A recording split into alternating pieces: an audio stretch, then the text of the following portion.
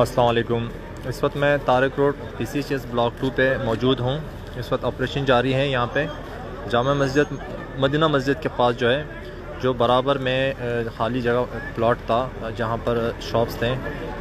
इसमें supreme court के इसमें भी ऑर्डर था कि इनको भी क्लियर करवाया जाए।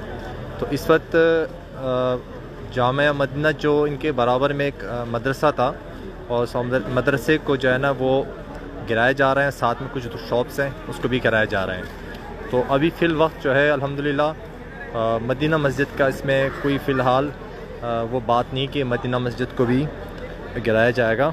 फ़िल वक्त जो भी इस वक्त ये लोग वीडियो देख रहे हैं, वो लोग इससे ज़्यादा से ज़्यादा शेयर करें। ऑपरेशन जारी है।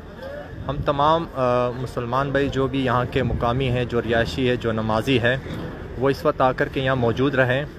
कि खुदा न खास्ता ये ऑपरेशन जारी है कि मस्जिद की तरफ़, मस्जिद को कोई नुकसान ना पहुँचाएँ।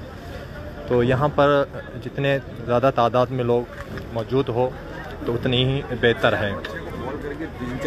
तो अभी इस वक्त जो है ना, ऑपरेशन जारी है। लिहाजा यहाँ पे ज़्यादा तादाद में लोग पहुँचे हैं और इस वक्त लोग पहुँचे हुए भी हैं।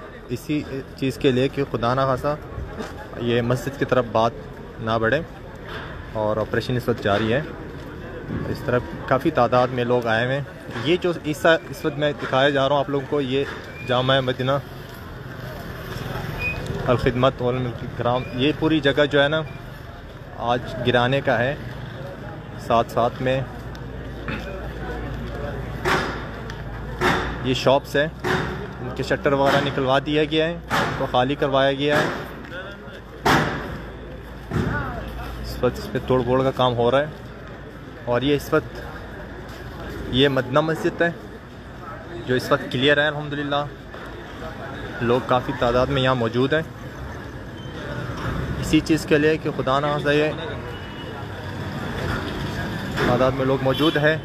लिहाजा जितने भी ज़्यादा तादाद में लोग यहाँ पहुँच सकते हैं, वो यहाँ पर पहुँचें और मस्जिद की हिफाजत के लिए।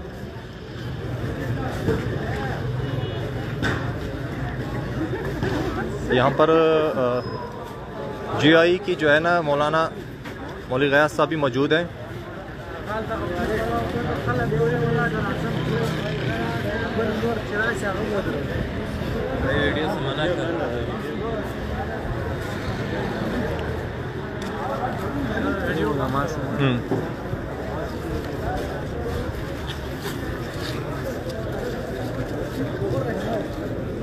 लाइव नहीं नहीं नहीं, नहीं मना किया मना है मामा वीडियो बन हाँ